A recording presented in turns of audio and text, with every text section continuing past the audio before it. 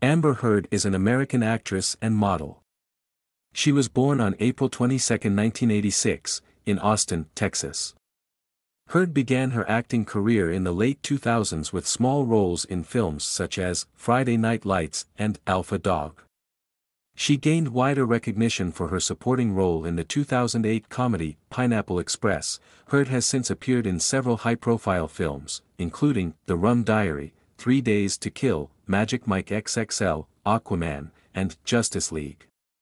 She has also had recurring roles on television shows such as The Playboy Club and The Stand. In addition to her acting career, Heard has been involved in various humanitarian and activism efforts, particularly those related to women's rights and the LGBTQ community. She has spoken openly about her bisexuality and has been an advocate for the acceptance of same-sex marriage.